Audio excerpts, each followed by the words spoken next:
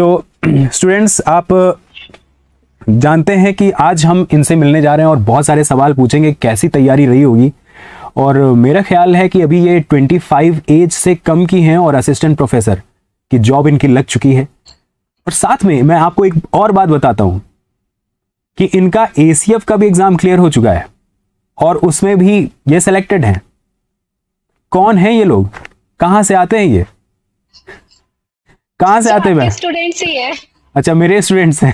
अच्छा ठीक है। जी बिल्कुल सर। वाह ये तो बहुत अच्छा मेरे स्टूडेंट बहुत कमाल कर रहे हैं ये तो बहुत अच्छी बात है। और आज बहुत सारी बात जानने को मिलेगी। मैं स्टूडेंट्स आपके आ, कमेंट्स भी पढ़ पा रहा हूँ। आपको जो कुछ भी क्वेश्चन पूछना है आप भी अपने कमेंट बॉक्स में क्वेश्चन पूछते रहिएगा।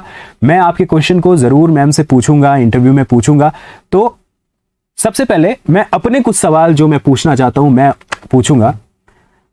सबसे पहले मैम आपका स्वागत है है ना हमारे चैनल पर। Thank you so much sir coaching तो आप हमसे पढ़ती हैं लेकिन आ, इस प्लेटफॉर्म पर यूट्यूब पर सबके सामने जब आपका इंटरव्यू हो रहा है सब आपको देख रहे हैं आज आप पूरे मन से वो सारी बातें जो आपने स्ट्रेटजी जो अपनाई थी जिसकी वजह से आप आज टॉप कर रही हैं और आपका इंटरव्यू हो रहा है तो ये सारी बातें आप हमारे स्टूडेंट्स को बताइए किसी ना किसी तरीके से कहीं ना कहीं ये उनको ज़रूर हेल्प करेगा।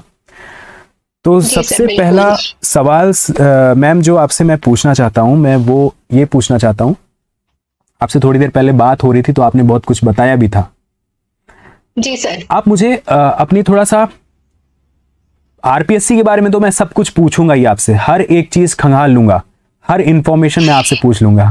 लेकिन उससे पहले लेकिन उससे पहले मैं आपसे पूछना चाहता हूँ कि आपका जो शुरुआती एजुकेशन था एजुकेशन था यानी कि टेंथ तक की जो एजुकेशन थी। उसका कितना रोल रहा है आरपीएससी के इस एग्ज़ाम को टॉप करने में? मैं एक ब्रीफ आंसर आपसे चाहता हूँ कि आप उसको मुझे ये समझा दीजिए कि टेंथ तक की आपकी एजुकेशन गाँव से थी। ये हम सब जानते हैं। तो उस टेंथ तक के एजुकेशन का कितना रोल रहा है आपके आरपीएससी के रिज़ल्ट लाने में? जी सर। सर, जैसा कि आपने बताया कि मैं ग्रामीण परिवेश से बिलोंग करती हूँ तो उस वक्त इतनी सुविधाएँ नहीं थी गाँव के अंदर तो हम ट्रैवलिंग भी करते थे तो कभी ट्रक में बैठ के जाना है, कोई बस मिल रही है तो उसके थ्रू जाना है तो कैसे जैसे करके क्यूरियोसिटी रहती थी कि कैसे भी जाके हमें स्कूल में पढ़ना है, और टीचर से जाके पूछते, सर, ये क्या चीज़ होती है? सर, इसमें ऐसा हुआ तो ये कैसे हुआ? तो स्टार्टिंग से एक मतलब बना हुआ था कि मुझे ये चीज़ सीखनी है, ये कैसे हो रहा है, ये सारी चीज़ें सीखने का था। अडोप्टेशन कंडीशन के अकॉर्डिंग किस तरह से हम ऑब्ज़र्व कर सकते हैं चीज़ों को?